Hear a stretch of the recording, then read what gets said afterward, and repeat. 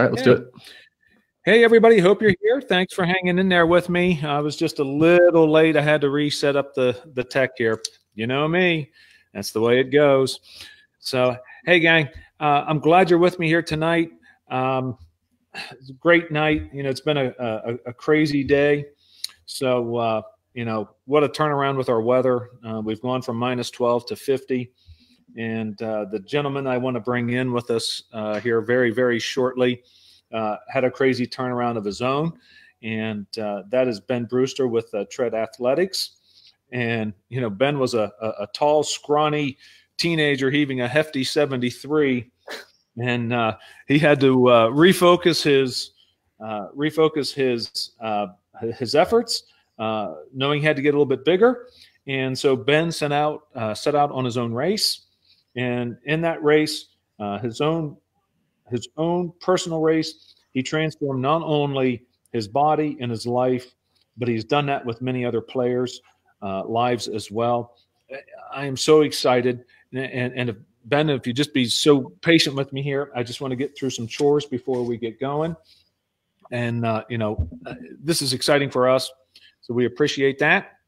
Uh, let me get that out of there. So uh, before we get going here, gang, hey, please make sure go go grab your paper, go grab uh, your your pen, uh, get your pencil out. Um, there's everybody. Uh, get your pencil out. Um, get your beverage working. Get to the restroom. Get back in here as quick as you can. Um, we're going to live, so anything can happen, especially when I'm in control of the of the scoreboard here. Uh, some of the things uh, typically, you know, it'd be nice to have the the presenter control his slides, but tonight I get to control the slides, so anything can happen. Just bear with us if it does. Ben's a pro, I'm not, uh, so uh, hang with us throughout uh, to the end of the broadcast because uh, Ben's going to have a special offer for us, uh, which we appreciate very much for that. I've got stuff going all over here, so. Um, ask your questions. Uh, we'll have a question and answer if I shut up so we can get this going. Uh, the biggest question right now is yes, it is recorded, so it will be played back and, and uh, uh for all posterity's sake. But uh, you know, but without any any further ado, what I would like to do uh, is to get the opportunity to bring Ben Brewster in here with us. ben, thank you for taking the time out of your day, out of your life to to uh, be with us here. Absolutely, Bill. I appreciate you having me on. Ah, I've been looking forward to this for a long time. So yeah. it's funny how uh, uh, people will run in certain circles, and uh, you know. So I followed uh, some work by um, by Graham Lehman, who is a friend of yours. Yeah, he's got uh, great. He's got great stuff. Yeah, yeah. Well, I, I think this is what's uh, what is wonderful about what's going on here right now is is the fact that that we've got people like yourself, people like Graham. You have a, a wonderful friend uh, and Dr. Uh, Josh Heenan. Mm-hmm. Uh, we've got some friends uh, as, as, well, and I'm sure there's probably others because when you start walking in those circles, but you guys have been willing to uh, to share everything with us, and you know that's just been it's truly, truly a, a treasure to have. And and you know, I know folks, I know how you're out there. You're going to head over to treadathletics.com to check it out anyhow. Make sure you have our our audio turned on. But uh, uh, Ben and, and his gang, they do a wonderful job uh, with everything, uh, especially with uh, giving away all their information. So he's a great guy at that. Uh, for that, and I'd say about probably 95% of what he does. But he's here tonight with us uh, because what we're looking for uh, in in in particular is the fact that that we um, we have um, most of our kids are we need to add weight. we need to get stronger. Yep. Yep. So, yep. So, without further ado, those teams out there. That's, yeah. that's a common problem in high school. So, yeah, cool. Cool. And that's why you're here because we want you to tell us about how you lived it and now how you train Absolutely. it. Yep. And I'll shut up and it's uh, your show. So, yeah, so take her away. I guess I'll, I guess I'll just start and go kind of go through my own story, how I got into all this and um, just give some context to everything. Um, but basically, I was I was your prototypical, you know, hard gainer, ectomorph, whatever you want to call it. I was uh, 6'2", 6'3", 150 pounds going into high school. Um, that's when I had my, you know, first time on a radar gun, and I was 70 to 73 miles an hour. Go, you know, going all out, everything I had, couldn't break 73. Um, at that point, I was running cross country because people told me that it would help me get in better shape for baseball. So I didn't I didn't learn that was a myth until you know junior year of high school. Honestly, um, at that point, you know I was listening to all the you know it's the brand of creatine you're eating that d- dictates whether you gain weight. It's you know I, I had all, all these myths that you know I thought it was like if you didn't eat in 15 minutes after your workout, that workout was wasted. If you worked out for longer than 45 minutes, suddenly the entire workout was gone. Like all these myths that just were on the internet at that time. Um, there wasn't as much, you know, communication between the science realm and the actual application realm. And a lot of the sites that were out there, it was like testosteronenation.com was like the only site that you could read anything when, you know, regarding training. So, um, you know, I decided around 15 years old that I really wanted to play baseball in college. Um, I decided, you know, at that point, I would say I was a little bit naive. I didn't really know what I was getting into. I just said, you know, if all these guys can do it, why can't I do it? I didn't see in my brain a reason why it shouldn't be possible if I'm just a bunch of like I'm a bunch of bones and ligaments and tendons and muscles that can get bigger with mm-hmm. training. And I didn't I didn't see a reason why if somebody can get their body to move that way through space and time things up and apply a certain amount of force. Um, you know, I didn't I didn't know a ton, but I did have like this I couldn't figure it out why it shouldn't be possible. And so I just dove into it, assuming it, that it would be possible. Whereas a lot of other people would take the opposite approach, saying, those guys are just genetic freaks. There's no way I could ever do that. Like they just were born with it. And so I took the exact opposite approach, knowing nothing, but at least having the clarity to make that assumption. And I think that assumption is what is what carried me initially. Um, it's yeah. just going into it thinking that it could be possible.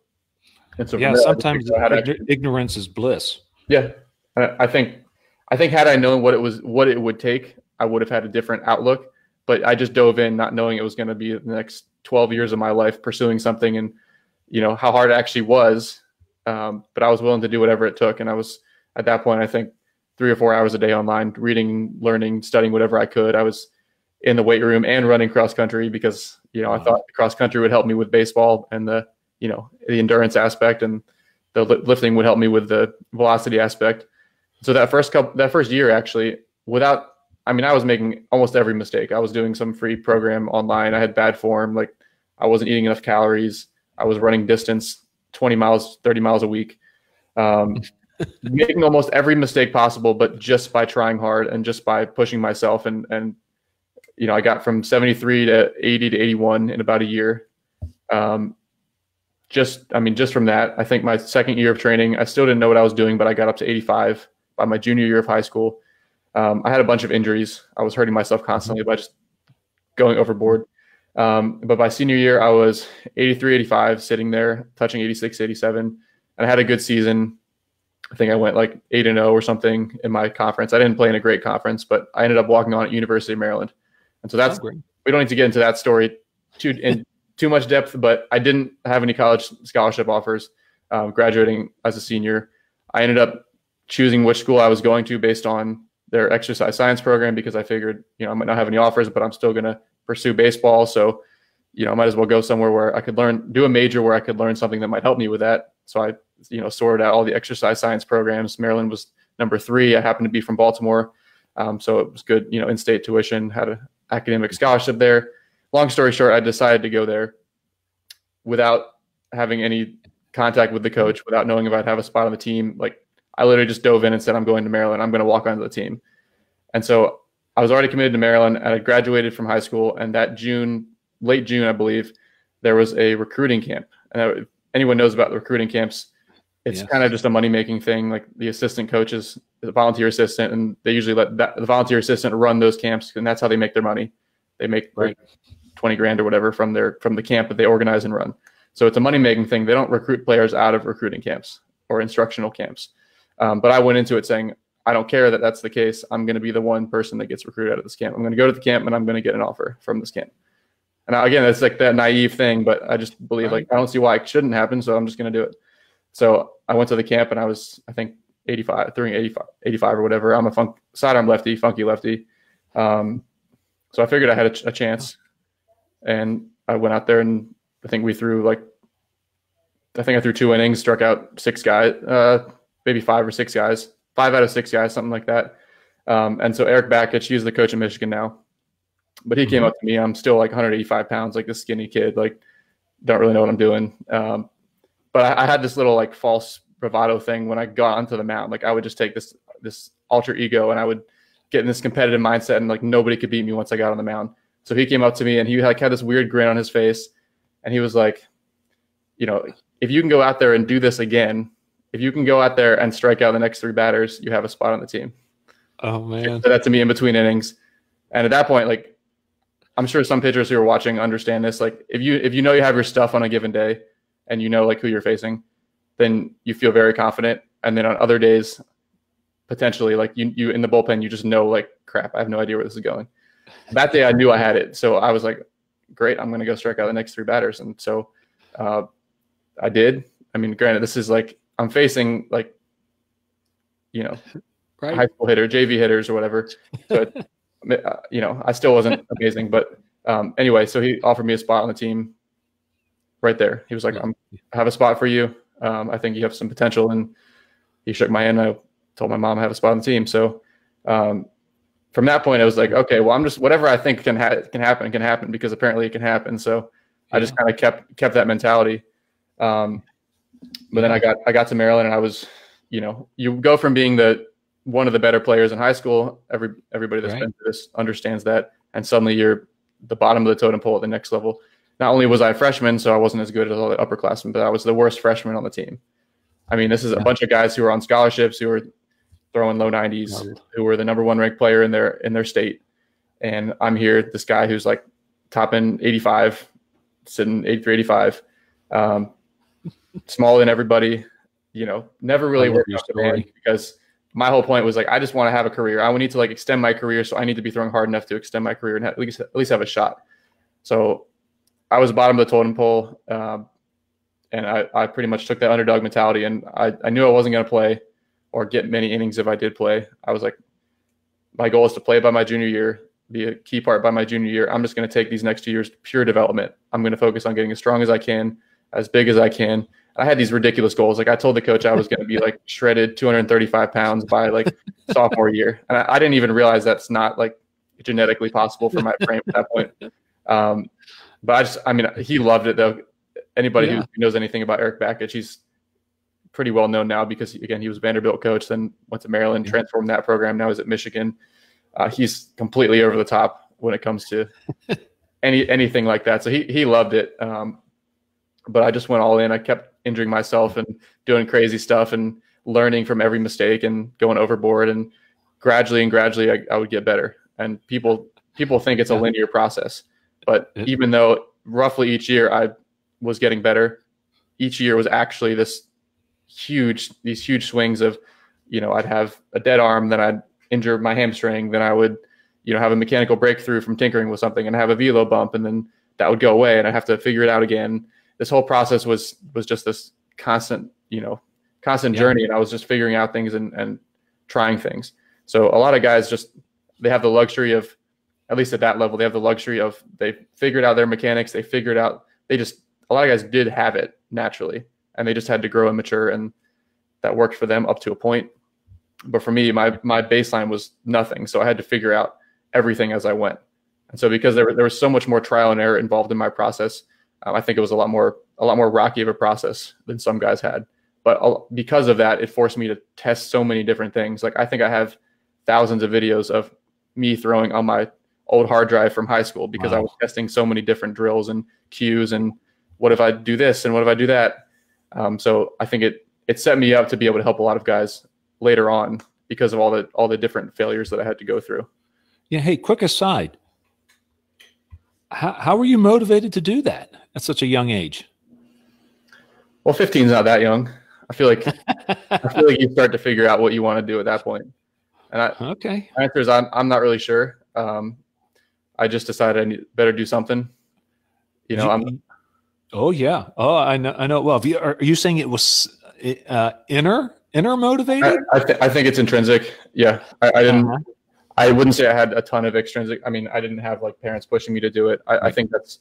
I actually thank them for that now. Um, initially, when I started, I was the first year because I didn't know any better. I was a little a little resentful that they hadn't signed me up for travel teams when I was younger. That they hadn't pushed me to lessons. That they couldn't. Oh. You know, we couldn't afford all the pitching instructors and stuff like that. So I was a little resentful initially because I assumed that that was how these everybody that was ahead of me when I started. I assumed that that's what it took.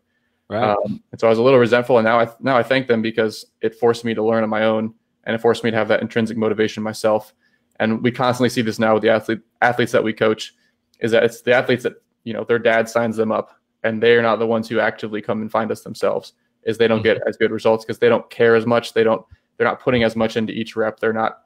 You know, there's not every one of them, but in general, right. they're subtly cutting corners because it's not their desire; it's actually their parents' desire to, right. to do it. So they'll get to a certain point, and that might take them through high school, but they get to college, and those those are the kids that are partying on weekends all the time, and mm-hmm. and starting to cut corners. The second they get away from their their whatever their parents right. or that extrinsic factor that was motivating them the whole time. Okay, cool. So, yeah, I'll, uh, I'll, thank you. You're I'll preaching. the rest of that story, I guess. Um, so anyway, I slowly got better. I didn't really play much until my senior year of college somehow I stayed on the team, didn't get cut. Um, I guess they saw the steady improvement. Um, but my senior year, I was 90, 93, touching 95. Um, ended up wow. only sniffing about 25 innings because we had, I want to say we had the hardest throwing bullpen in the in the country at that time. We had like eight eight or nine guys that could throw 95 at that time. So despite being a lefty throwing pretty hard, I, I you know, Right. Friday night starter was a second rounder who went complete games every time. So that was the only day there were scouts in the stands. And I never, I didn't really get a ton of exposure. I didn't get as many opportunities, even though I had a, good numbers. Um, and I threw about 25 innings. But despite all that, I still got seen a couple times. I ended up being drafted in the 15th round. Um, and I went on to have, you know, I played a couple years professionally, had a, had a number of injuries. I had elbow surgery, and I'm actually currently pursuing my own comeback uh, back into professional oh. baseball. So nice. Um, oh. The last healthy bullpen that I threw, I averaged over 97 miles an hour in my bullpen. Um, so I'm still trying to get everything together: back, elbow, uh, shoulder. Uh, I make the analogy that I'm kind of like a used car um, that has a you know a couple hundred thousand miles on it. Things start to break, and when something when you fix something, the next thing breaks. Um, so I'm, I'm currently in that process. Just all the different training injuries that I've had from testing so many things over the years. But um, the fact that I've, I have been able to go from one of the slower throwing people that you would never should never suggest that velocity could be trained to that extent um, to you know a lefty sitting upper 90s um, in in bullpens. Uh, I think it's going to be a pretty cool story when I do put it all together. And actually, my my yeah. really good friend Luke Hagerty, if anybody follows him, he just got signed at 37 years old, um, I believe by the Cubs, and he's a similar, sim, different but similar story. Um, so yeah, that will happen for, for those of you who want to follow the story. Eventually, I will put it together. Yeah, outstanding. I saw your post on on uh, on Luke. So yeah, he, he's a great he's a great guy, and I think you know I talk to him about this all the time. Is like there's a lot of coaches in the industry who they played, but ever since they became coaches, they they kind of stopped practicing what they preach, um, which is that's fine. And there's a lot of coaches who are successful with that method, and I understand some of them have blown out shoulders or whatever. Um, but we feel that our biggest benefit is that we're still actively training.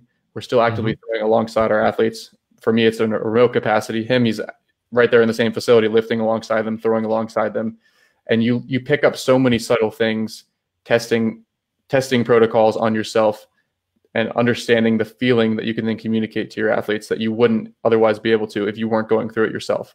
Like I can't communicate the feeling of how to let your arm float into position or the arm spiral or the relationship between you know my hips and my torso. I can't communicate these feelings and how to cue them through these drills if I couldn't if I wasn't able to do it myself and and go through that whole trial and error process. So right every time I injure myself or every time I something clicks, a light bulb goes off and now I have something I can refer to when that same situation happens with one of my athletes. So I think right. in this case and in my case, it's a huge benefit. And I think if more coaches, even if they have no no goals of playing or making a comeback or anything, you know, a lot of people are doing these the weighted ball programs now, or they're getting on board with with heavy lifting. I think if coaches start doing it themselves, even if they're throwing 50 miles an hour, I don't think it matters. They'll start to be, become more effective coaches because they communicate these these subtle things a little bit more effectively. Yeah, you know, uh, and to to that to that uh, to that degree, we we we cue to feel and uh, awareness and intent. So um, I hear you. I, I, hear you. So we, you know, we try to stay away from the from the external cueing. So right there with you. Awesome. Well, let's. uh I guess let's work through you this. Presentation. Yeah, let's get on. We're we're both rambling a little bit. I do that. so I, I originally gave this presentation to one of the colleges that we that we consult with. Their coach wanted a nutrition. You know, we had the nutrition program, but he wanted me to speak more directly to the players. We skyped in. We we did kind of a live Q and A type thing. Mm-hmm. Um, so just keep that in mind as we as we go through this. But I asked them the question like, how many of you guys are trying to gain weight? How many of you are trying to lose weight? Um, most of the guys in, on any team that we that we talk to are trying to gain weight. Although there's usually a handful of guys that have slower metabolisms and need to need to trim down. But we'll we'll tailor this conversation towards weight gain because I'm sure that's right. over 90% of your guys. Um, Absolutely. But there's actually a lot of similarities between the approaches when you when you look at it on a macro scale. Um, the general approach is establishing a calorie balance. So if you're in fat loss, you're establishing a calorie deficit. If you're in weight gain, you try to establish a calorie surplus. That just means eating more calories than you burn or eating less calories than you burn. We're all pretty familiar with that concept, but in practice, that's where we tend to screw it up. So go back, go back one more slide. Oops. Just finish that up. Okay. Okay. In both those approaches, you need to constantly be measuring the metric you're trying to change. So if you're trying to gain weight, you need to be regularly measuring your body weight. Same thing if you're trying to lose weight. That doesn't change. A lot of people screw that up as well. They say, "Oh, I'm going to gain weight. I'm just going to try to eat a lot," and it's this vague, this very vague thing that you don't put uh, metrics or numbers to. They might track their body weight every tenth day, or just randomly when they they might not even buy a weight scale. They just hope that they stumble across a weight scale in their local gym when they have a chance, and they don't even know. Like one time they're weighing themselves with their sweatshirt on, one time they're wearing right. shoes, one time they're so it's they haven't eaten anything that day. Um, so the measurement aspect gets gets consistently screwed up, and then you have no way of telling if you're making progress. And the difference between a week where you gain nothing or a week where you maybe you gain a pound, like that's that's no progress versus you're completely on track for your goal. And so screwing up the measurement aspect of it makes it very hard to tell if you need to adjust what you're adjust the inputs if you can't actually monitor and and measure the outputs. Um, so fundamentally, the approach is the same whether it's weight gain or weight loss. It's just which direction we're going. And and you cover that in pretty good detail within your book. Mm-hmm. So right, so um, and you can talk a little bit more about that much later. But I, I didn't mean to inter- interrupt. But I, I just thought that um, you know the, that whole idea of logging and and here we're talking about logging again for our folks uh, I, don't, I just don't think you're you're, you're going to get away from it. You know, if you're looking to improve, it's got to get measured. And it's it's so it's so self evident when you when you say right. that to people. It's like, oh, that makes complete sense. Like, why didn't I think of that? But it's it's still shocking to me. Like, it's still shocking to me how rare it is that coaches actually understand this in the baseball realm because this is now starting to be very very common in kind of the strength and conditioning and, and fitness world. And that's where I learned a lot of these concepts and it's it's so commonplace now that you know using MyFitnessPal, tracking your macros, tracking your body weight. This approach is is has become a very you know repeatable method um, that it's surprising to me that a lot of coaches haven't fully jumped on board in the baseball realm. But yeah, right. So, next. Okay.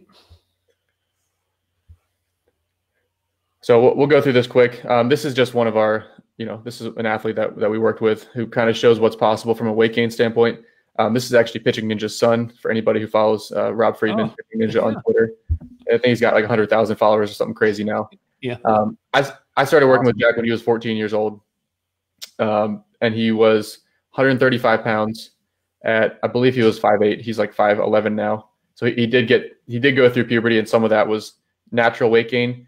Uh, but he essentially gained about a pound a week for a year and a half straight. He, wow. again, it's, it's not, you're not making these massive transformations overnight. This is you stick to whatever the the rate of waking that we set for our athletes is, and it's just brutal consistency over time. It's incremental progress.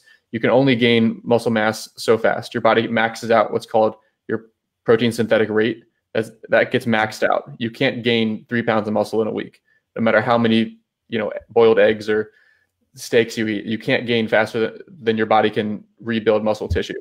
So it, what happens is it's just consistent progressive overload in the weight room and consistent consistently being in the proper calorie surplus, gaining your pound a week, pound and a half a week over time. Um, and so in Jack's case, that was about a year and a half. Um, he made some very quick initial progress. I think he went from 76 to like 85, 87 in the first four months. Um, and then from there, it was, it was, again, it was kind of that up and down, um, you know, fighting for each, each couple miles an hour af- after that point. You can go to the next slide, but he was up to 95 his senior year of high school. Um, a lot of mechanical adjustments with him as well. But for him, by and large, it was going from 135 pound boy to a 205 pound. I don't know if I want to call him a man, but he he definitely had some of the strength metrics of of full grown men um, by the end of high school. So. So this was one of his better. Uh, this was called a velocity bullpen, but this was some of his velocity training um, in high school as a senior. And at that point, he was actually at Georgia Tech. He's at Georgia Tech now, but he had committed to Georgia Tech. I think he was a Georgia Tech bat boy when he was like 10 years old. So uh, it's kind of a cool story to to see that come full circle. Yeah, that is. I I, I love how you talk, Ben. Um, I've heard uh, brutal consistency, yeah, and ruthless consistency. So awesome. I mean, again, because my, my my whole purpose was figuring out what would actually work for myself and I, I, was willing to do whatever whatever it took, whatever that meant. Yeah. So I had to figure out what actually worked, not just what I could sell to people. It's it's no, this is what what actually worked or didn't work for me, and then how can I? My goal wasn't to create a training company. My goal was to play in the major leagues and not be injured and, and throw hard. But people started coming to me. I actually kept a pitching log online from the time I was 15, so people can actually go to this log. It still exists. From the time I was 15 till about 22, I would put you know blog entries and stuff in this, this website called let's talk pitching.com which was one of the yeah. only baseball sites that existed like 10 years ago that you could do this um, and so people would message me on there i think that's how rob rob friedman found me and say hey could you write my kid something um, and so it became like okay well here's what worked for me here's here are the common principles and then it, it became from there a training system uh, based on what actually produced results Great. So. Un- unbelievable. Yeah. Uh, this is a great story. love hearing it. I love hearing it. And you know what is shocking to me is is when you see uh, a player, an individual such as yourself, uh, go through this and and get the results, get the success of of that process. It's it just stuns me that there just aren't more people asking the asking right. questions, even if they're the wrong question. Just right. start asking questions. Yeah, yeah, awesome. Tell us about yeah. the process. All right, so today we're talking about nutrition primarily. Um, so this is a graphic from the ebook, uh, which is called the nutritional uh, hierarchy of importance. So basically, uh, people tend to screw this order up all the time. They think that supplements are what dictate whether they make progress, or maybe it's you know when they eat that post-workout meal that dictates if they make progress, or maybe it's um, you know, a certain vitamin or mineral that they think is responsible for progress. Uh, when it comes to actually making body composition transformations, this is the order that actually matters. Calories are about 80% of the process, calorie balance. So if you're trying to gain weight and you don't have the calories in order, you simply won't gain weight. If you're burning 3,000 calories a day and you're taking in 3,000 calories a day, you are not going to gain weight. In fact, if you're burning 3,000 calories a day and you're taking in 2,500, you're actually going to lose weight. So that's just that's called the law of thermody- thermodynamics. Mm. It's just it's calorie balance. So you have to be in a calorie surplus. You need to take in more calories than you're burning if you want to gain weight over time, and you will gain weight over time. The composition of that weight could be muscle mass, it could be fat mass. That can vary, and that's where the training stimulus comes in. I'm assuming everybody that's watching this is on a good balanced strength program. They're pushing themselves, and each week they're progressively overloading in some way. They're adding five pounds to their lift. They're doing more reps. Something is getting more difficult about that over time. But if that's in order, if the training stimulus is in order, now you've given your body the signal that it needs to put on muscle, add strength, whatever. And now, now that's that reinforces where uh, where that nutrition is going to actually go. So the calories are by far the most important thing if an athlete's trying to gain weight. You can't even you can't hope to gain weight if you're not tracking your calories and or you're not consistently you don't have some system of consistently staying in a calorie surplus. So that's where the actual tracking comes into play. Like maybe you're good enough to just estimate what you're eating and eat a lot of food and, and say, oh, I'm just going to eat a lot every meal. And maybe you're good enough to just stay in a calorie surplus and you'll gain weight over time. maybe that works for a certain amount of time. But I know that I wasn't I wasn't able to do that. I know that a lot of athletes I work with aren't able to just eyeball it and just say I'm going to eat a lot of food because what happens is they eat a lot of food day one, then they're full day two they don't really want to eat as much, so they don't eat as much. Maybe three days later they decide, oh, I'm going to keep doing this. They have a big meal. They say, oh, I ate a lot that day. But if you actually broke down and tracked the calories, some days where you think you ate a lot of food, you actually didn't eat that much. Maybe you concentrated those calories in one specific big meal, but over the course of the day, you actually didn't eat a ton of food. Um, it's it's it's hard to to to eat that amount. Well, it depends. It depends on the athlete, right? So, like some guys, you know, a five foot six kid who has a slow metabolism might gain weight on three thousand calories a day, and a six foot six, 150 pound kid with a lightning fast metabolism, you know, I'm probably going to start him on 44, 4,500 calories a day, see how he responds, and then adjust it from there. So there's definitely a there's definitely a variance in metabolisms, but a lot of these kids are eating, you know, the typical American breakfast. They're eating cinnamon toast crunch and a bagel for breakfast. They're eating like a sandwich with two ounces of meat and like an apple juice for lunch, and they're eating maybe one good meal of the day, which is whatever their mom cooks them. So they're getting one actual good whole food meal with an adequate amount of protein and adequate amount of calories in the entire day. And so suddenly you change that to three high calorie meals and two high calorie snacks. And like every kid that says they can't gain weight gains six pounds in their first month. And we're like, actually have to slow down their weight gain because they're gaining too fast. Too fast. So that's point number one. That's calories. You can go from there. All righty. Let me uh, get us back up the track here if people don't understand or people don't remember anything from this whole talk except calories, um, I would say that's a success. That's the only thing that matters. Um, if you're not tracking calories, at least at the start until you understand like, okay, what are actual food purport, food portions and, and what quantity of food do I actually need to eat to make the scale budge? If you're not at least doing that for the first three to six months, um, you know, I can't guarantee you that you're going to make progress, but I can with our athletes if they are doing that. Right. Um, so again, this is just a the same thing that we already went over. Energy balance, calories in versus calories out. That's what matters. Um, for actual proportion of how much of your weight gain is muscle mass versus fat mass, there are some variables that come into play. Somebody that's been lifting for 10 years and just goes and gains 40 pounds, like if you're already very close to your genetic limit, how much muscle mass your body can hold, then there is a limit for each person. Then the proportion of muscle to fat is going to be mostly fat. But I know that when I was 150 pounds, like mm. I didn't get an ounce of fat from 150 to about 195 pounds. Like none of that was fat. Wow. But then from about 190, 195 to like 215, maybe half of that was fat. The, the proportion of fat to muscle gain changes as you get closer and closer to your genetic limit. And with, okay. with that too, if you try to gain weight way, way too fast, like part of the reason I didn't gain any fat from 150 to 190, 195 pounds was because I was gaining like maybe a pound a week at a time. I didn't go and try to gain 30 pounds in four weeks eating a bunch of, you know, Big Macs. Right. So the proportion of the actual surplus you're in is important too. Stick to about a pound to a pound and a half a week as your upper limit. Any mm-hmm. slower, and it's just going to take too long. Any faster, and you start to disproportionately gain fat mass as well. So that pound to pound and a half range per week seems to be the, the sweet spot. And even within that, it's not going to be 100% muscle for everybody, for not certainly not forever. Um, so guys need to understand there is going to be a certain amount of fat mass that is gained, but they most athletes don't need to worry about that at the start. If you gain 40 pounds and at the end you eight of them were fat, three to four weeks of, of a fat loss phase, which we can cover at a different time, you can mm-hmm. cut that off very quickly.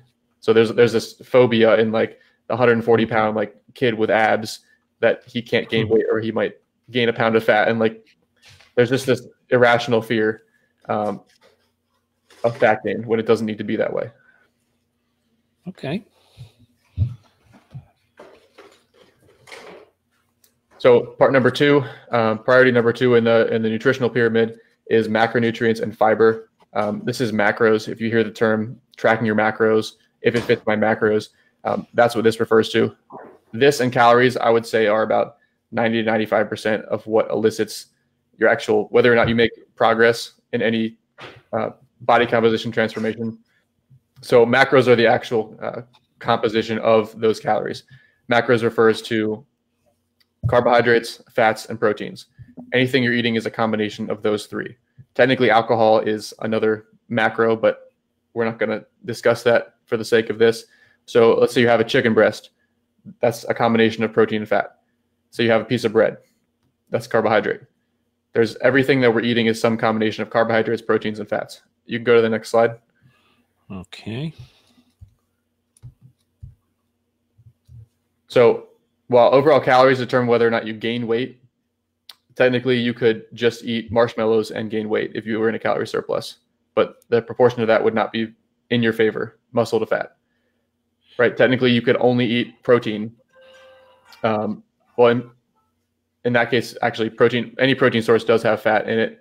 Um, point being, all of these have their. Oh, what happened? Oops.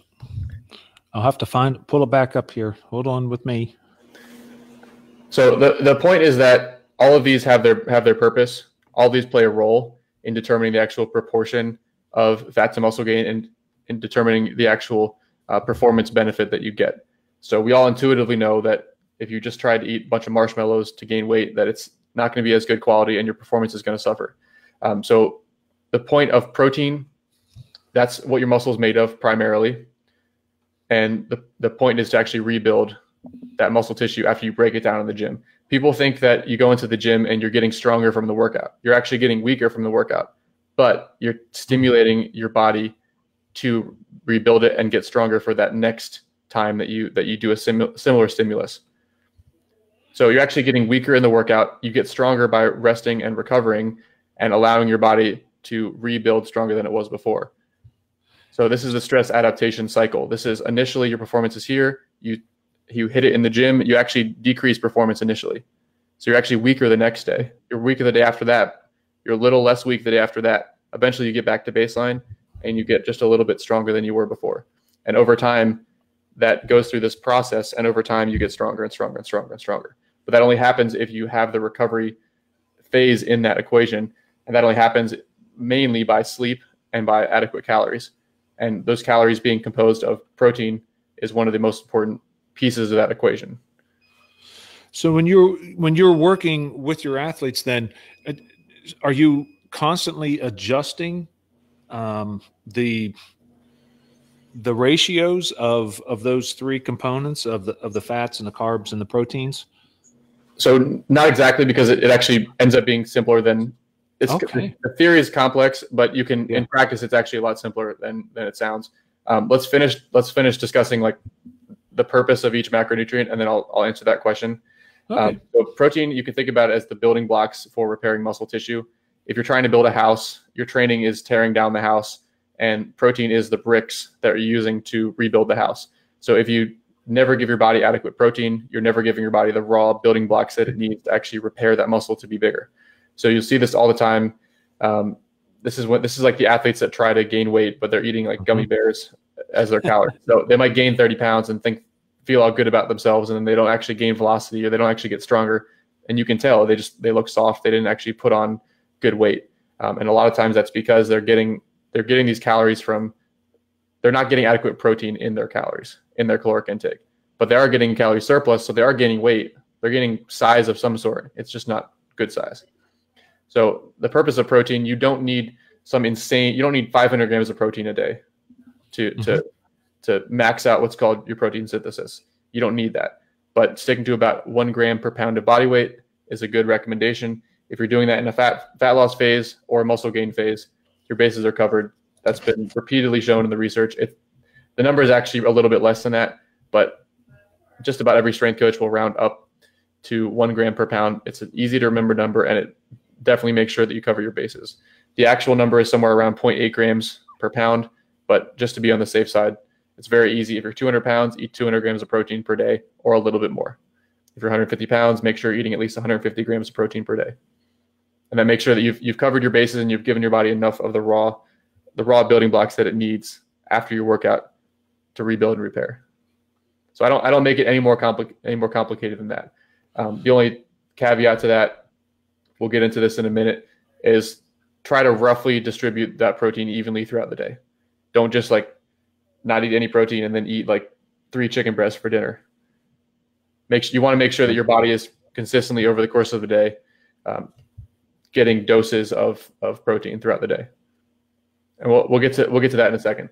Um, okay. Carbohydrates are you can think of carbohydrates as gasoline, like gasoline in your car. Right. Carbohydrates are your primary fuel source during high intensity exercise. Um, so you can it's it's called stored muscle or liver glycogen. Um, that's the stored form of glucose, which is what your muscles primarily use for energy um, in in these short bursts of activity. Um, and then there's two types of carbohydrates. There's complex carbohydrates. These are your starches. This is potatoes. Um, you know, this is this is bread. This is anything quinoa, rice. These are your these are your longer, uh, slower burning carbohydrates. And then you have your simple carbohydrates, which are, which are your sugars. This is like fruit, candy, uh, juice, um, anything where it's it's quicker digesting, quicker absorbing, and quicker acting. Um, so sugars are a little bit more useful when it comes to like a pre-workout or during workout drink, something that you would have there.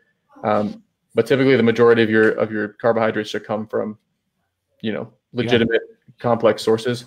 Um, and then fats. A lot of people demonize fat. They think if I eat fat, I'm going to get fat. Like, oh no, um, fat fat is actually a necessary macronutrient. It's necessary for hundreds, if not thousands, of cellular processes in your body. Um, probably most importantly, for our purposes, um, for testosterone production, which is necessary for stimulating muscle rebuilding and repair. So if you go too, if you get way too low, and they've shown this, if you if you go like completely zero fat diets, you get a drop in uh, you get a drop in mood, you get a drop in testosterone as well, and you get worse results. So the point here is that all the macronutrient macronutrients are important, and you want to stay in a, roughly a balanced macronutrient diet. It doesn't mean, you know, that the actual breakdown doesn't need to be exactly in one specific ratio. It just means make sure you're hitting a certain amount of protein above a certain threshold. Make sure your fats aren't like zero, and make sure your carbohydrates aren't zero. The actual ratio of fat to carb that is somewhat individual specific. Some guys feel and perform better with a little bit higher carb, a little bit lower fat and some guys perform better a little bit higher fat, a little bit lower carb. And I don't know that as a coach going in. I'll typically start guys with a little bit higher carb, a little bit lower fat, and if they feel great and they're getting results, we kind of stick with that. But some guys will play around with that, and they've they've shown in, research that as far as the actual amount of uh, change in your body composition, there's there's no measurable difference over over groups. When you as long as you control for the protein and the calorie intake, if you mess with the fats and carbs, that ratio, there's no difference as long as you account for the as long as you're equating across groups the calories and the protein intake there's no there's no difference in results. It's more like subjective things. How do you feel? How much energy do you feel like you have? What's your mood while you're gaining weight? Um, how easy is it for you to get those calories in? Like it, it, can be a lot easier to eat a scoop of peanut butter than a potato. Um, so there's there's other factors like that but the point is they're all important. Oh, so are you saying paleo, paleo no? Is, um, I think I think uh, paleo is a good general way to look at it in terms of I, I would consider it whole foods, like foods yeah. that your grandparents would have recognized and know what they are. Um, foods on the outer part of the grocery store that can go bad if you don't eat them in time. Right. Like, so I know paleo has some weird restrictions on like there are some weird gray area foods that they just they won't like let you eat beans or something. I, I'm sure they have they have certain restrictions that that are not allowed. Um, I'm not I, I'm not sold on that necessarily. I just think um, typically you want to have the majority of your foods coming from whole food or real food sources.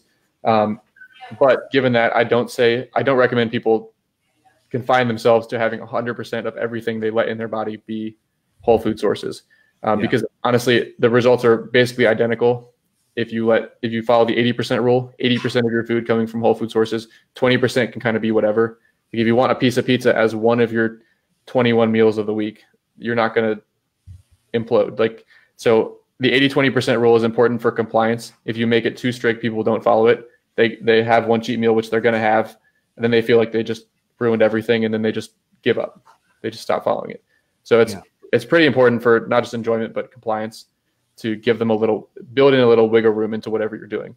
And then when you actually when you account for the additional compliance you're now getting because you built in that wiggle room, like the people are gonna they're gonna go out and have a burger with their friends or whatever at some point anyway. If you build it in, they're actually gonna stick with it over the long term, and those those just become little blips. Right. Outstanding. Outstanding. Um, okay. All right. Next slide. All right, micronutrients and water. So again, we're getting uh, we're getting to the less important pieces, but but still important. Just not going to determine whether or not your weight gain is successful or not uh, to as great an extent. Um, so you can go to the next slide. Okay. So micronutrients water. This is basically your vitamins, your minerals, and your hydration. So this is all still important. You still should account for it. Just the point is understanding where each of these pieces fall in terms of order of priority. So vitamins, minerals, antioxidants, these are super important for thousands of cellular processes involved in just your general overall health, your sense of well-being, your energy, your vitality, uh, how you function throughout the day. Um, I have a list here of, of, certain things that micros and water can account for. So avoiding muscle cramps, for example, sodium intake and adequate hydration, uh, recovering from workouts, getting quality sleep. Um, these are all things that are related to micros and water. So again, I don't overcomplicate this. I don't have guys taking a huge supplement regimen or vitamins and mineral regimen. Um, and I don't have them, you know, carrying a gallon around with them all day, tracking their, their water intake. Um, as far as hydration, this rule of thumb has worked very well. Five clear urinations per day. It's a very easy indicator. If you're, you know, if you're going to the bathroom and it looks like apple cider, you know, it's it's probably an issue. Um, so I, I don't overcomplicate that one. Um, I think I think evolutionarily we've uh, we've established a pretty good way of telling if we're dehydrated or not. We get thirsty and we drink when we're thirsty. I, I think I don't know that there's a ton of truth to the the idea that once you're thirsty, it's already too late and all hope is lost. You, by the time you've gotten thirsty, I think if you if you drink when you're thirsty and you don't um, and you have clear urinations, you're probably okay. I think that's a better indicator of if you're dehydrated. Okay. Um, and then the the, the rule of thumb about 80% whole foods yeah. um, tends to account for adequate micronutrient intake. Um, but to go along with that, fruit and veggie intake with most meals is important. Um, that, as a general rule, that tends to account for any massive micronutrient deficiencies that a guy would eventually have. That doesn't necessarily mean if we're eating for 100% optimal health, like to live to 100, that that's optimal. It just means when it comes to if you're going to have a successful weight gain attempt, where you're not having any massive deficiencies, um, that's going to most likely cover your bases. Um, from like a complete overall health standpoint, you probably would want to get a little bit more detailed than this. Um, Stan Efferding has a diet called the vertical diet, where he he basically breaks down. You know, he'll eat like he'll break down different fruits and veggies that contain different amounts of different minerals, and he'll put them all into a plan where each day he'll eat like carrots and spinach and cranberry juice for the iodine, and he'll he'll mm. basically sweet potato for what's in that, and he'll construct a a fruit and veggie regimen based on all the different minerals that each one contributes, and so his whole all his bases are covered. Um, so if you're looking for like, okay, I want more detail than just like eating fruits and veggies with each meal, then the, the vertical diet uh, kind of breaks that down, what that would look like, as as far as like a sample, uh, a sample approach that would cover all your micronutrient bases. Okay. All right, going down the list, uh, meal frequency and timing. This is one that is potentially is slightly important, but people vastly uh, overestimate how important it is. There's all these uh, you know persistent myths that you need to eat super tiny meals six to eight times a day to stoke your metabolism, keep your metabolism going. Um, there's myths about like you can't eat after 6 p.m. or it's all going to go to fat gain. Um, there's myths about how you need to eat 15 to 30 minutes after your workouts in your anabolic window or the workout is completely wasted. Um, these have all been disproven, but they still persist because they're somehow appealing or they're they're easily communicated in kind of the the bro culture and, and people take them as truth. Um, the reality is, if you're eating anywhere from three to six times per day, you're probably okay. Um, I say three meals because even though we we establish how we want protein circulating through our body, protein is broken down, down into amino acids which go towards the repair of your muscle tissue, among other things. I, I even though we want that happening regularly throughout the day, you don't necessarily need six or eight meals a day to do that. If you eat one big meal, it's actually processing through your body for the next four to six hours. If you eat, so if you eat breakfast at 8 a.m., you know, by noon or 2 p.m., maybe that's done processing, but in that entire period of time, you've had, you have amino acids trickling through your bloodstream and, and keeping your anabolic response up. Then you eat lunch. Now the next four to six hours, that's processing through your body, that's circulating through your bloodstream. So as long as you're eating three meals per day, anywhere in that three to six range, they haven't shown that there's a significant difference in results in any study ever. Um, so that's more based on preference. So me personally, I eat about three meals per day, maybe one snack. That's my preference. I haven't ever noticed any better results when I experimented with higher frequency. But some people like to eat snack regularly throughout the day. That's totally fine. It's the overall caloric balance and the macronutrient breakdown.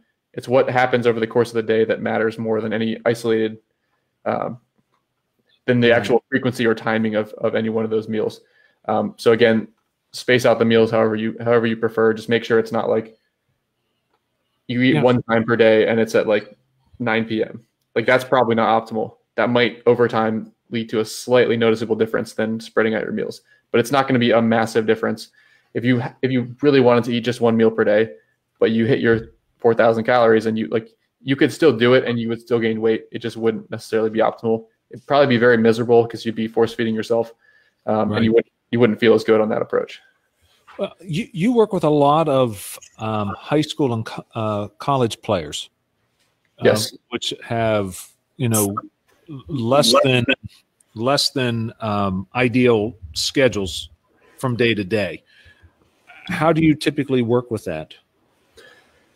So typically we'll go on a case by case basis, figure out what their day daily schedule looks like, what resources they have access to, and then reverse engineer it from there.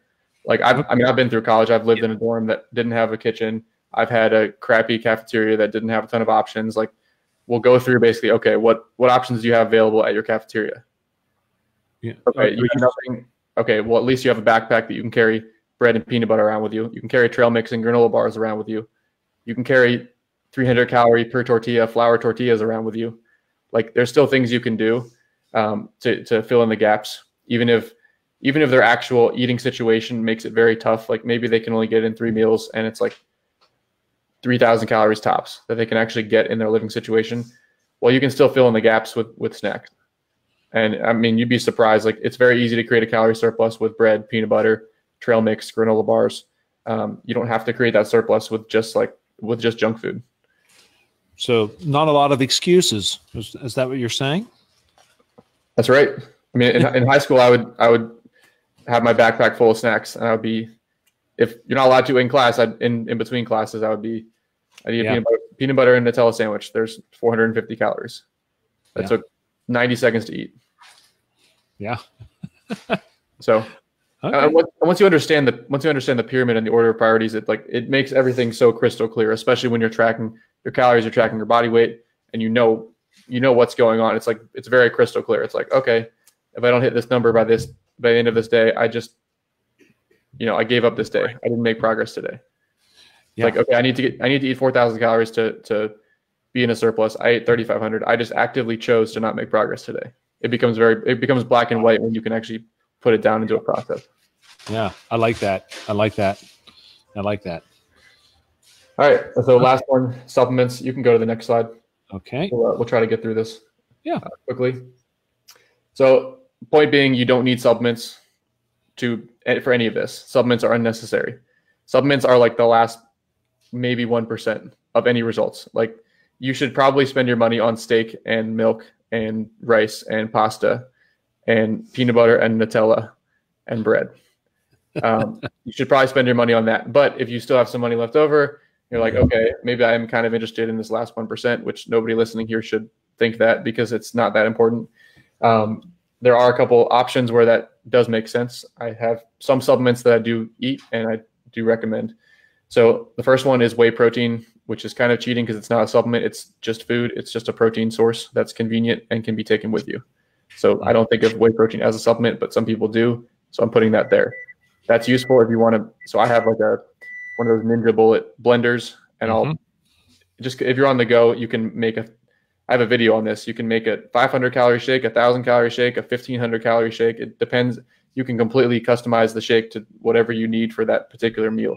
But whey protein makes it very easy to, to make sure that there's the protein content because it's can sometimes be hard for guys who aren't eating like two plus pounds of meat per day to hit 220 grams of protein if they're a bigger kid. Um, so that, that makes it very easy to fill in the gaps from a protein standpoint. So whey protein, that's the first one.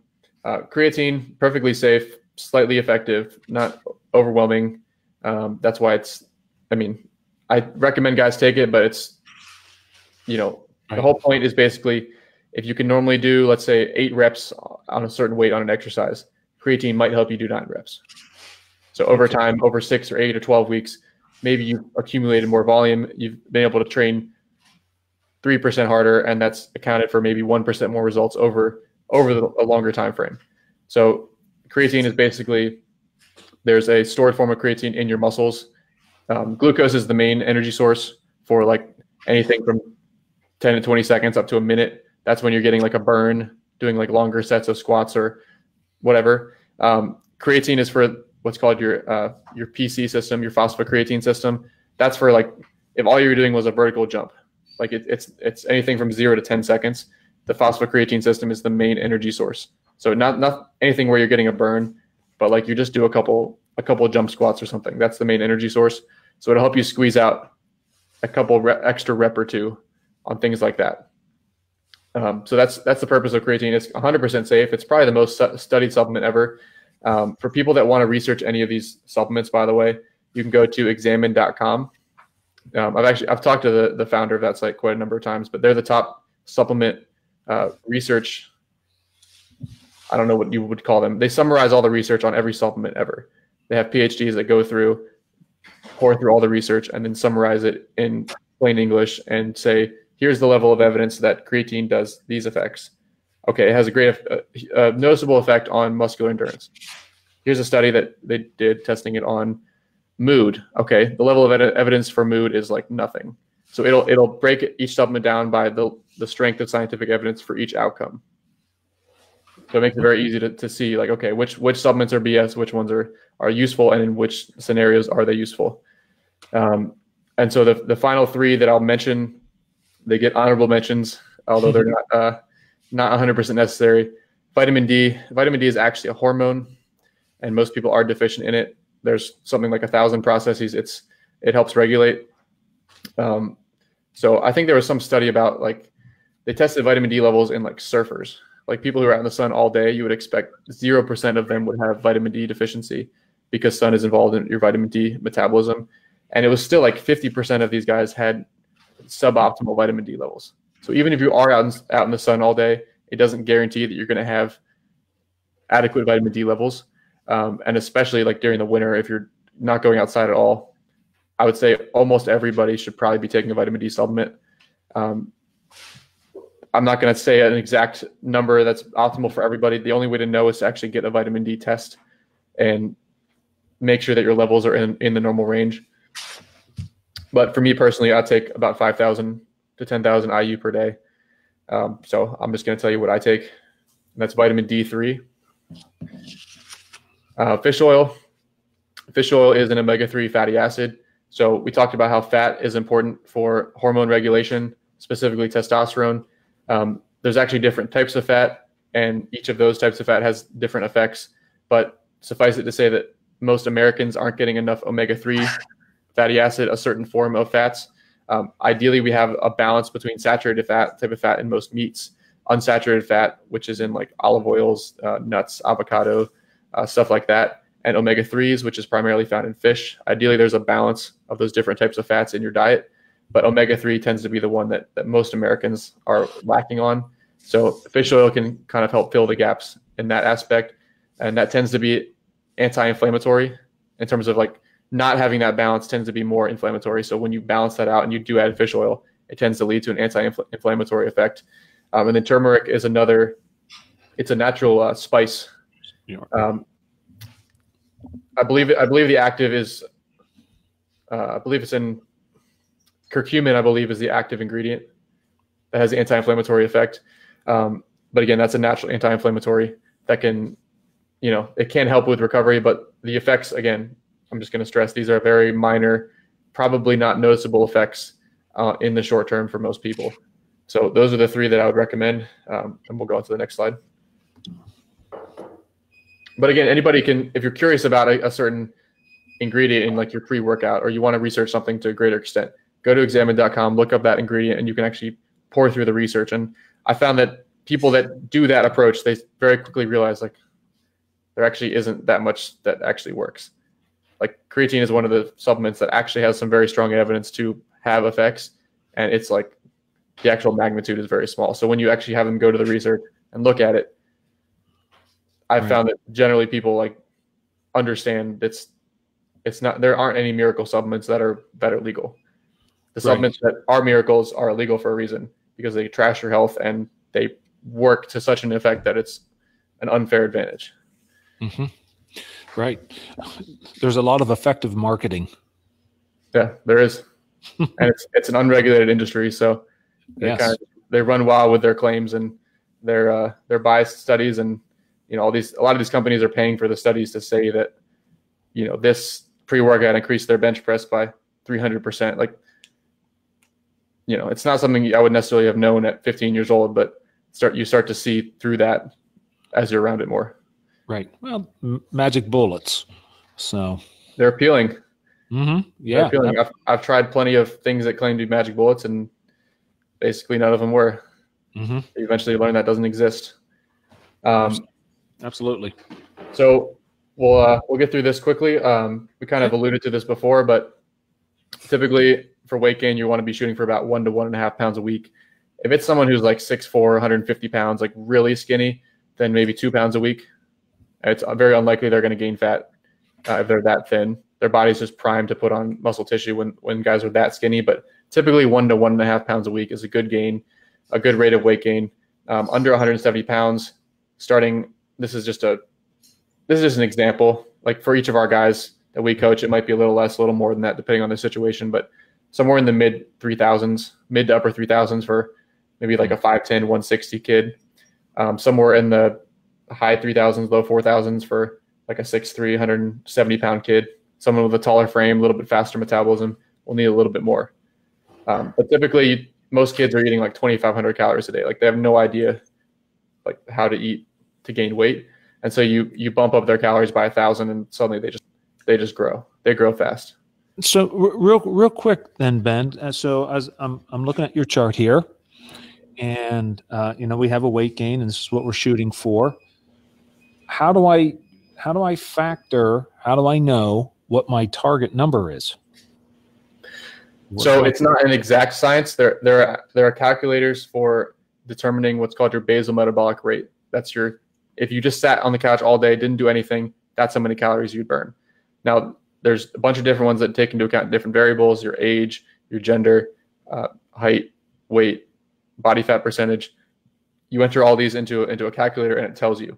Um, the problem is they're not that they're somewhat accurate. They'll give you a ballpark number, but they're not accurate enough to be that useful because the point is just to give you a ballpark number. So these are the ballpark numbers as far as the average BMR is going to be somewhere in like the 2000 to 2500 calorie range. That's if you just sat on a couch, didn't do anything. Mm-hmm. But you're not sitting on a couch, you have some sort of activity level. Um, so most of these kids trying to gain weight, their maintenance is going to be like 2500 to 3500 calories, somewhere in that range depending on where they're at. So we kind of just pick a ballpark number that's going to represent a surplus for almost every kid. And you can, again, you can pick out the outliers like the super skinny, 150 pound, six foot six kid. You could pick those guys out and just start them a little higher. Uh, but the point is, you're not going to be perfect on that starting number, but you're going to pick a ballpark number. And what makes it perfect is over time, you're going to actually measure the output and you're going to slowly adjust it over time. So let's say we, we um, let's say we choose one kid, he's five foot six, 150 pounds, and we start him on 30, 800 calories per day, and he gains like four pounds the first week. We're like, oh crap, that's too fast. We, we overshot this.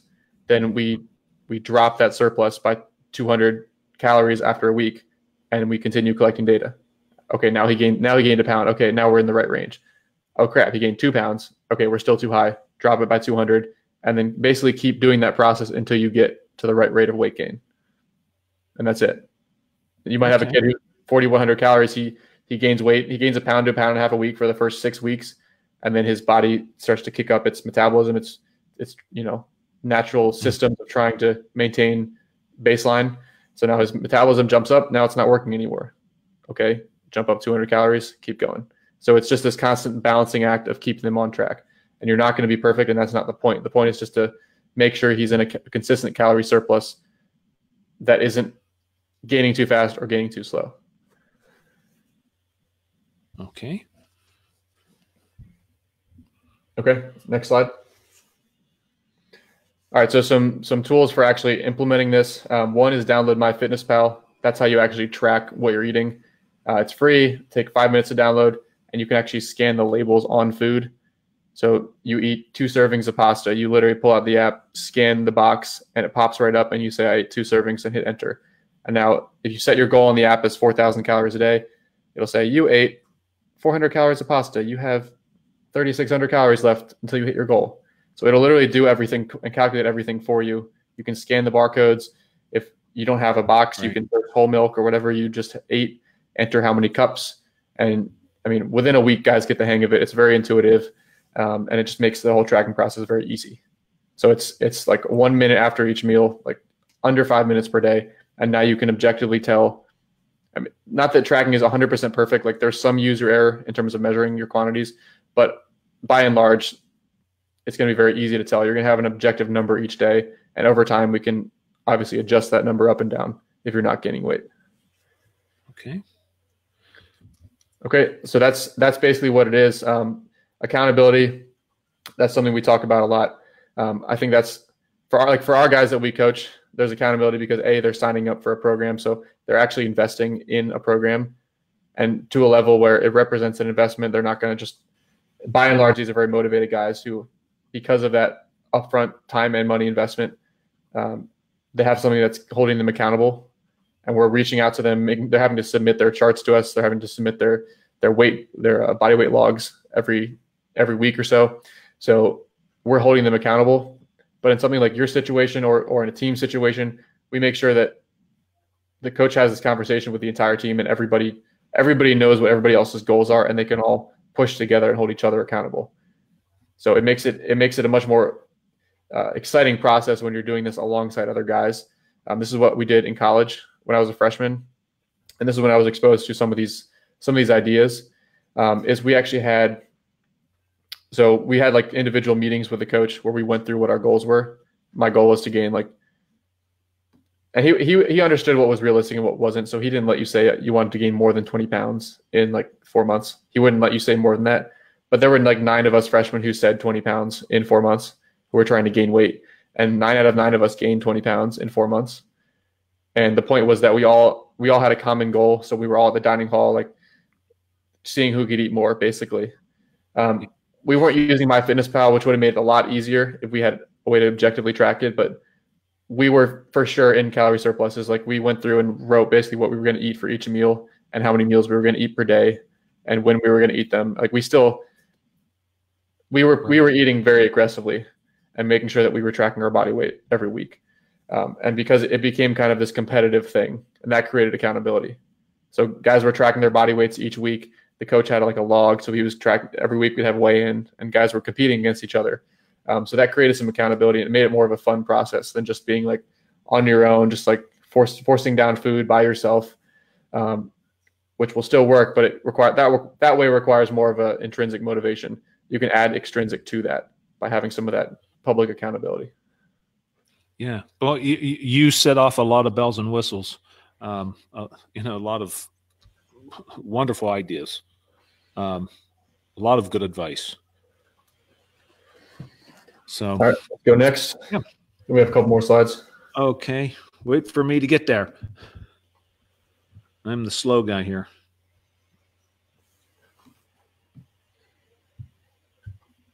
Okay. All right. All right. So I, I kind of alluded to this, but tracking your body weight, uh, that's an integral part of, of gaining weight. You just, it's just like if, if you're trying to get stronger and you have no idea how much weight is on the bar each week, you just put some weight on the bar and squat it and hope that you're going to get stronger. That's basically what's happening if you're not tracking your body weight, you're not tracking the, the output, the, the metric that you're trying to improve. Um, so some ideas um, that we'll kind of tell our teams is have a have a giant chart in the locker room so everybody can see what everybody else is doing. If there's one kid who's just blatantly not putting in an effort, you'll be able to tell. And sometimes you need to actually, it's actually the program's fault. You need to adjust it, and it's not the kid's fault. He is following it. But the point is, there's public accountability. Everybody can see what everybody else is doing. And if, you know, the, the hope is that people help pick up a guy if he's not not following it, help motivate him.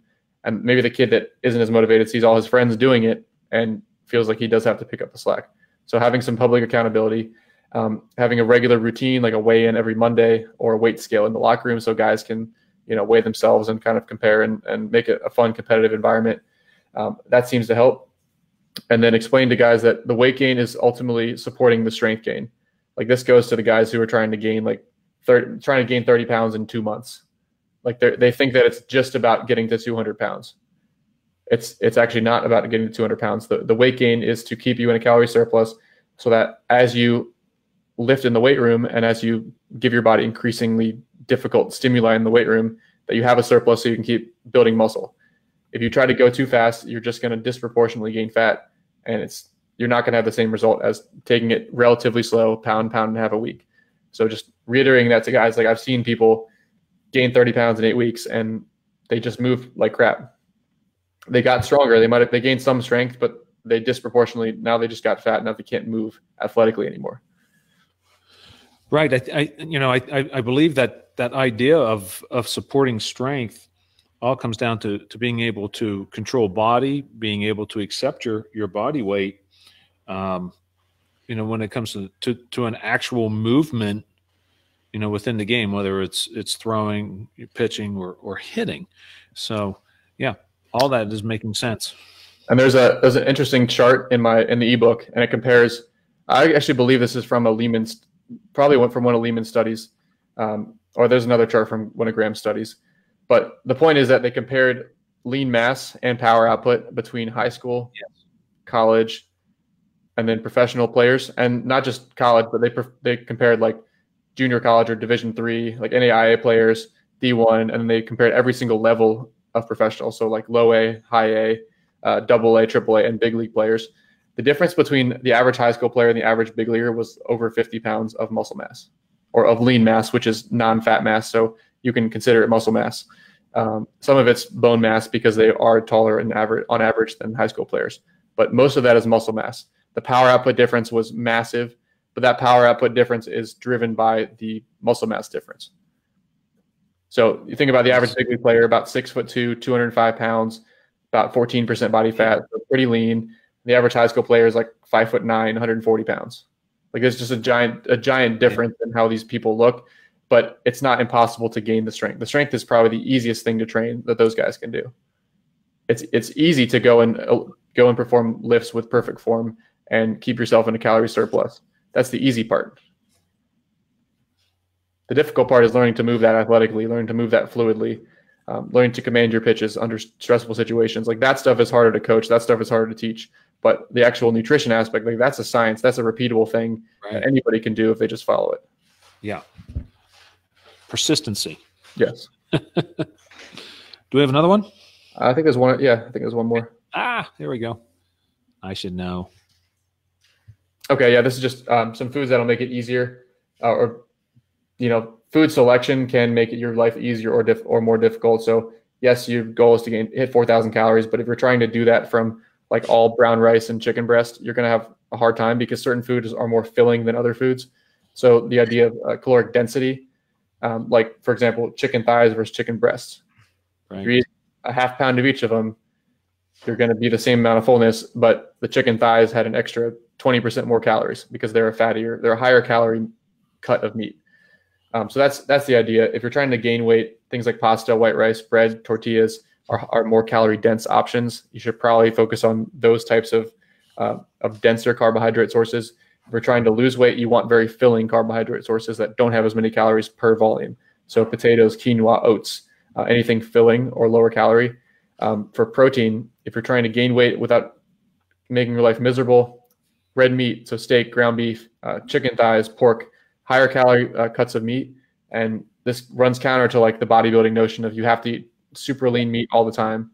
Um, if you're trying to lose weight, and this is why people think they're healthier, is because most people are trying to lose weight to get healthier. They make your life a lot easier when you're trying to lose weight. Like I would 100% tell people to cut weight on chicken breast, uh, very lean cuts of meat, tuna fish, tilapia, things like that. Right. But if you're trying to eat 5,000 calories a day of chicken breast and tilapia, it's like you're gonna have to eat so much of that to hit 5,000 calories. Yeah. So you need to you need to be strategic about which food sources you use, just just to make it, just to be able to force that type of food volume down.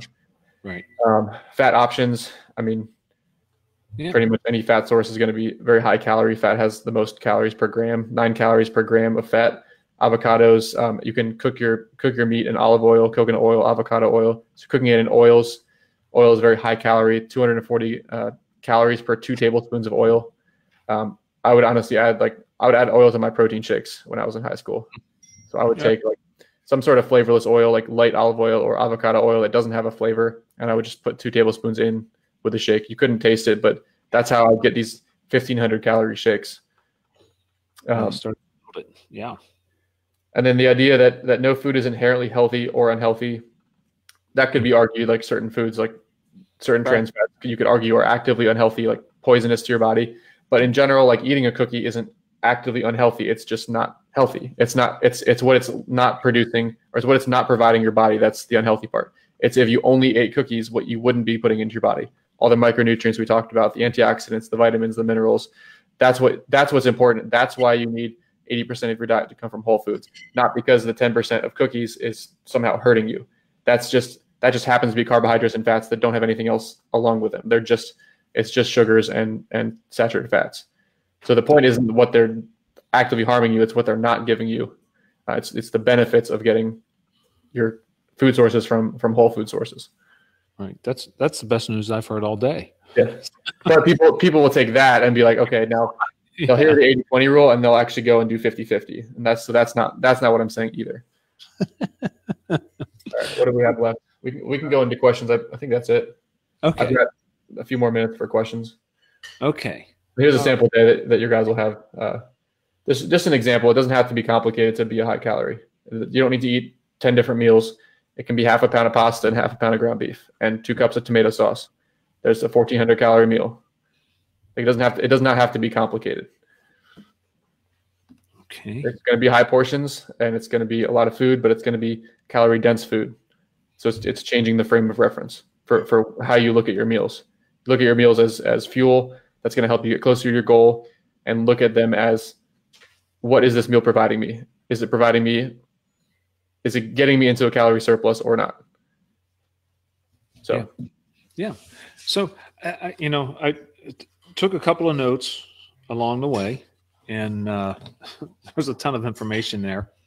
And uh, just as a, just to assuage some fears of of people who can't keep up with all the writing, there is a wonderful, wonderful ebook that that Ben has taken the uh, the time and um uh, uh, the care to to create that uh, we'll talk about here in just a little bit. But at one point, um, you made a comment. Front end of the comment was uh, guys. Talk to me about girls. Talk to me about the females. How does that change?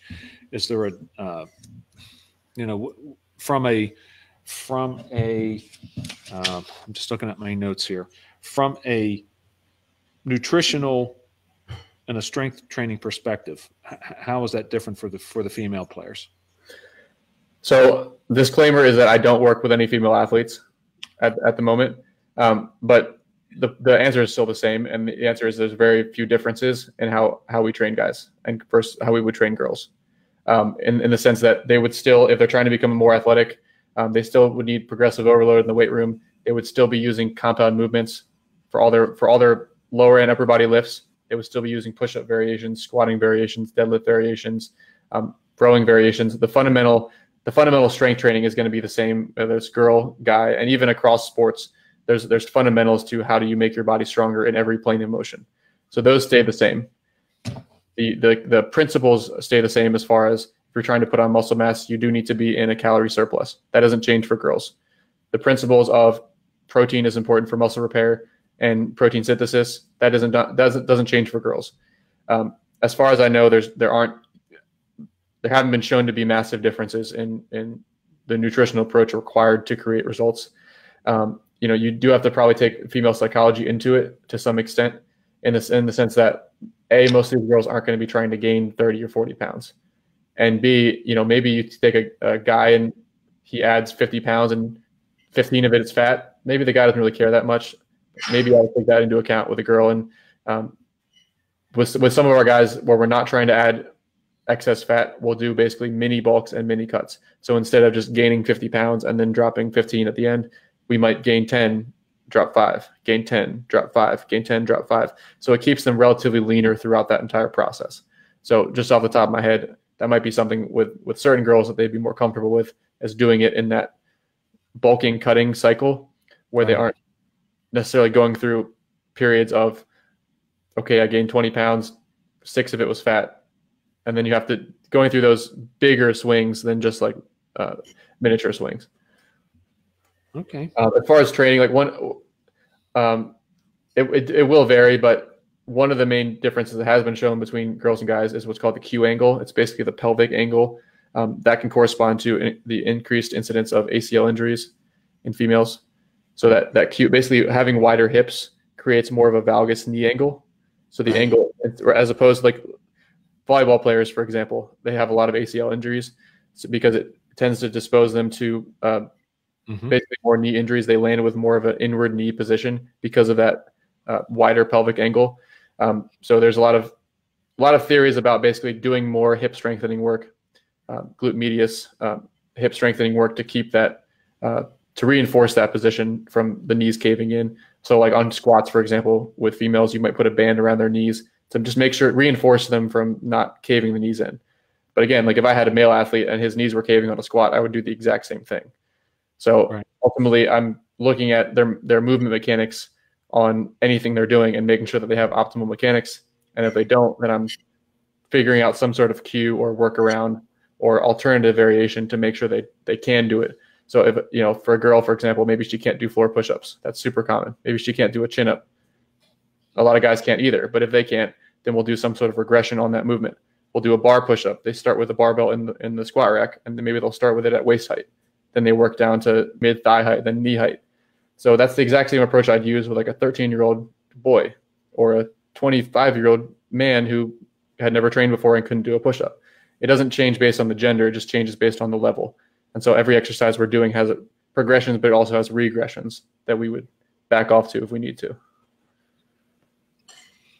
Outstanding. Hey, now, Ben, I, I want to say thank you, uh, and I want to be um, respectful of, of your time. So uh, we're coming up on about an hour and a half, and I know that you've uh, worked something out for us.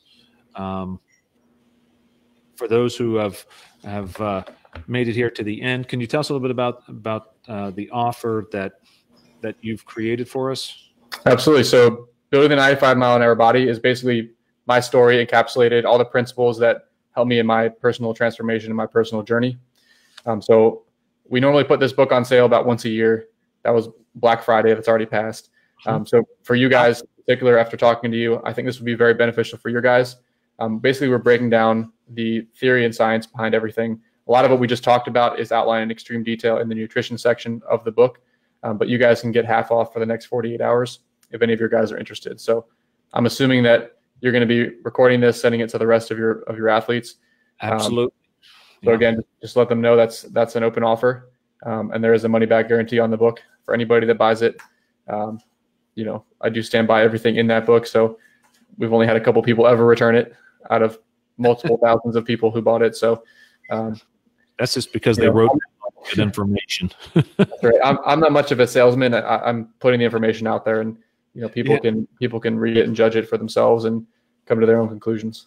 Yeah, and what I would say to to to our players here and to our parents and such, you know, believe it or not, uh, Ben actually ripped through this pretty pretty quickly, and within the book, he lays it out extremely well.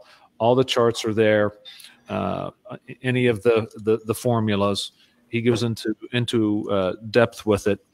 Um, So, you know, do yourself a favor. I mean, it, it wasn't expensive to begin with. So with half off, it's, it's, it's, it's, yeah. I don't think it's a Starbucks.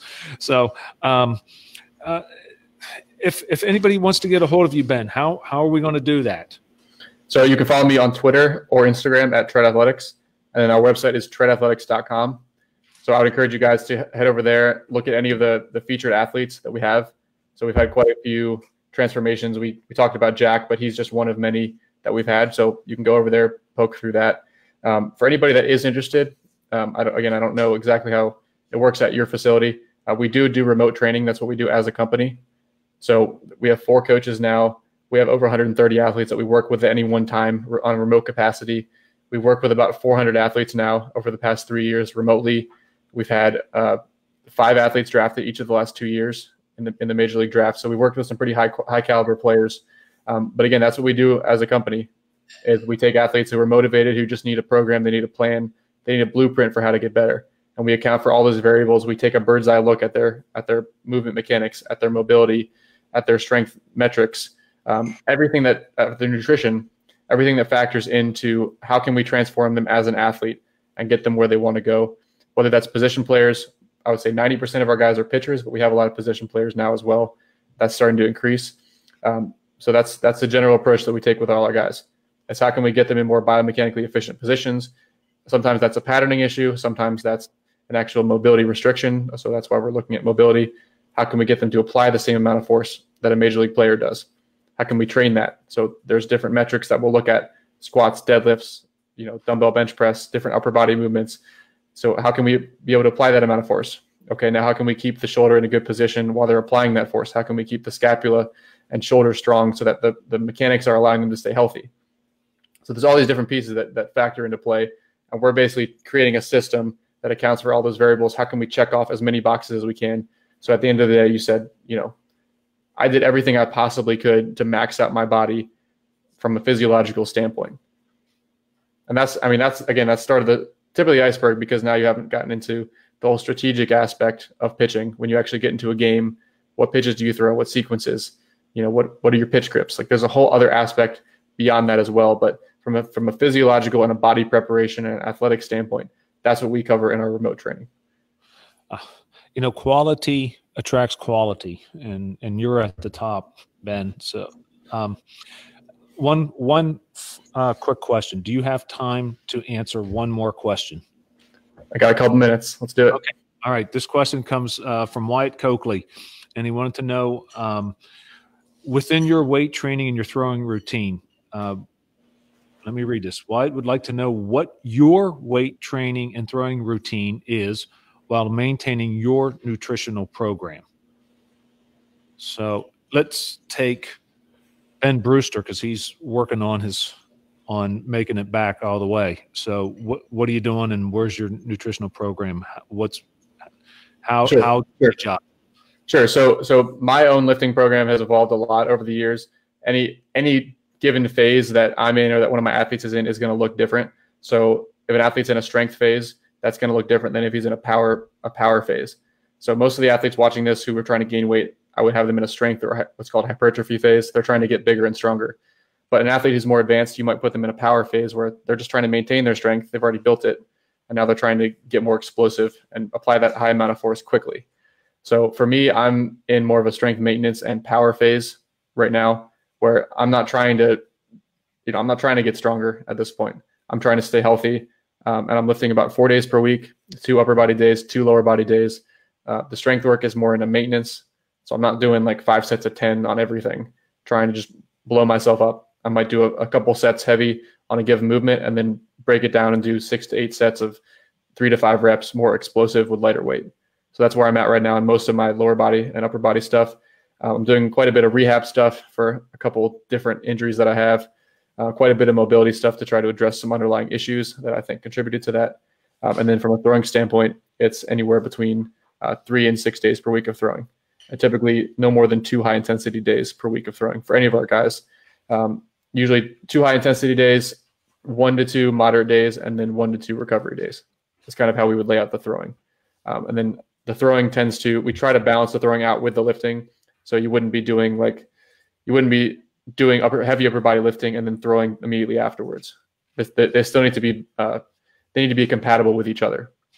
So we still we try to lay out our guys' weeks so that if they have a high intensity, you know, bullpen day or they're in season and we know they're going to throw on a Saturday, we try to organize the lifting around that. Um, and then as far as nutrition, like again, I'm not trying to gain weight. I'm at my ideal body weight at this point, my ideal body composition for where I'm trying to be. So for me, it's just staying in a maintenance. Um, I have a I have what's called a Whoop strap, which um, it's basically like a Fitbit, but you know more advanced. Um, so it's it's giving me recovery scores. It's tracking my sleep. It's tracking how much REM sleep I got, how much deep sleep, how much light sleep every night. It's tracking my heart rate, what's called heart rate variability. So it's taking all these metrics just from you know my temperature and my my heart rate and everything, um, and it's also along with that giving me an estimated calorie output each day. So I'm trying to maintain my calories, but each day I'm have a different level of activity. So you don't have to get as precise as this, but for example, today maybe I burned 3,700 calories. So I'm going to eat about 3,700 calories to make sure that I'm staying in the maintenance. Maybe a certain day where I don't do anything, I burn 2,800, and so I'm eating that at that level. So my my calorie intake varies depending on how active I was that day. Yeah, thank you, thank you for that.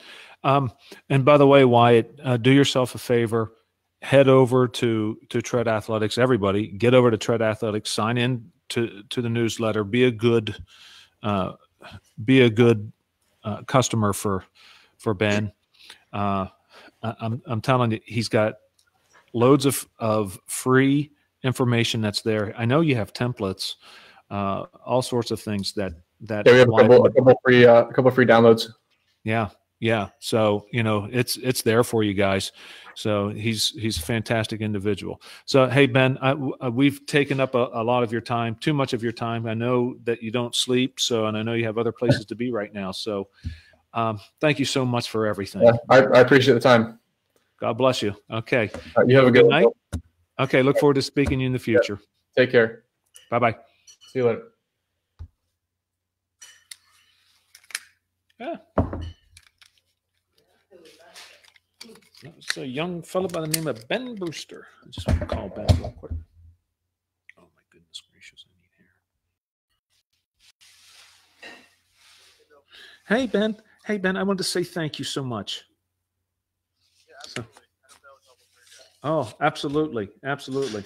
So I, I believe we had 105 that were on with us live. Yeah, yeah. So um, Ben, what I will do is uh, I'll I I have to figure this part out yet. So I know that I can. I just don't know where or how I have to take it, but I'll get the recording to you. So uh, if, that way, if you can use it if you if you want to. If you don't want to, you don't have to. But I'll make sure that I get it to you here. So, all right. Oh, absolutely, absolutely, and and in the um, f- near future here, I'd love to again when you have a little bit of time to speak with you about the things that you're doing and and uh, you know because how phenomenal, how phenomenal that you know and continued success to you. So great. Yeah, outstanding. Thank you. Thank you. Thank you. All right, man. Okay, you have a good night. Okay, you too. Bye bye.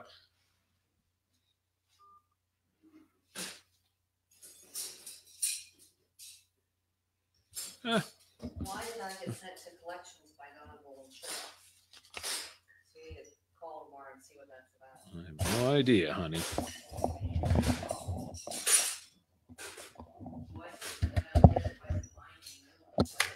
That I don't know.